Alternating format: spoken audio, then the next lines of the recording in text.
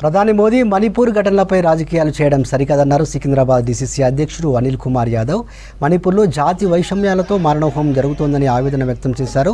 వెంటనే మణిపూర్ సంఘటనపై ప్రధాని స్పందించి బాధితులకు భరోసా కల్పించాలన్నారు. మణిపూర్ సంఘటనలపై నిరసన వ్యక్తం చేస్తూ హైదరాబాద్లో ఆందోళనకు దిగారు కాంగ్రెస్ నేతలు.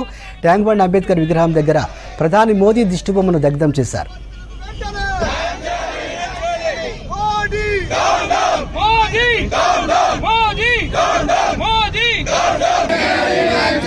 న్యాయం చేయాలి మహి- మణిపూర్ మహిళా బాధితులకు వెంటనే మోదీ మోదీ మోదీ మోదీ మోదీ